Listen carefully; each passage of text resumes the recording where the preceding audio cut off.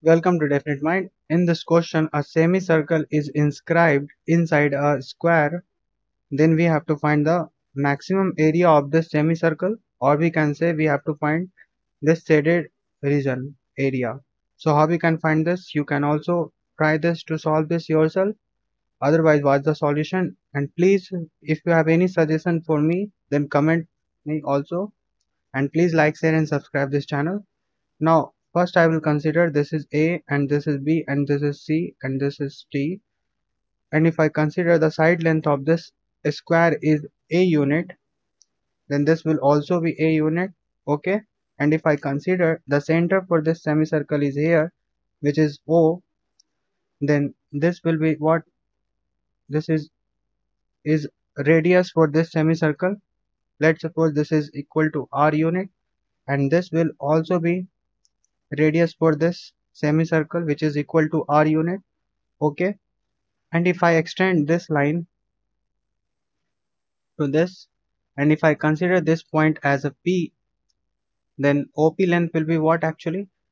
Since this line is parallel to AD and which is equal to A unit so this will also equal to A unit and from this point to this point is equal to R unit so definitely OP will be equal to A minus R and also if I extend this line then what will be the length of OM this is also equal to A minus R because this line is also parallel to AB and which is equal to A unit. And OM is equal to A minus R because this to this is R unit. And if I connect this O to B then this length is equal to what actually? This will be equal to R why this is equal to r I will tell you later. First understand in triangle, right angle triangle OPB, we can write and also PB is equal to what actually? This is equal to also A minus R. So in right angle triangle we can write OP square plus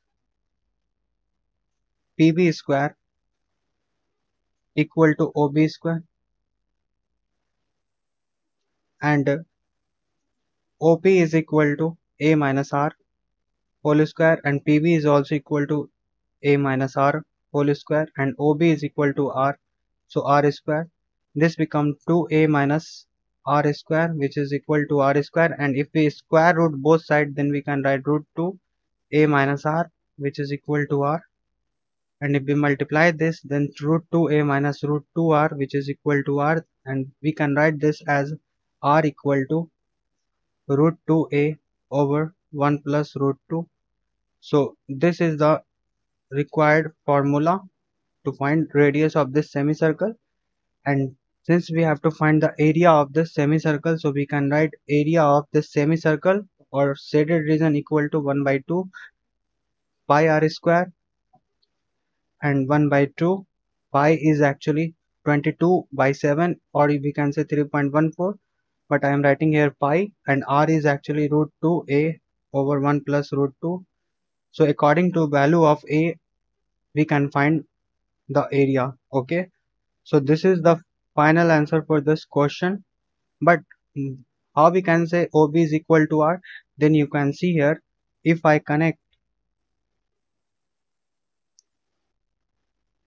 this. Then you will see this become full semicircle full semicircle. And inside sorry full circle. And this is the diameter for circle. And triangle made in circle with diameter is a right angle triangle. You can see this is a right angle triangle why? Because this is 90 degree. Each side each angle of square is equal to 90 degree. So definitely OB will be the radius for this semicircle. So I am considering R unit. So this is the required answer. So thanks for watching this video and please like share and subscribe this channel also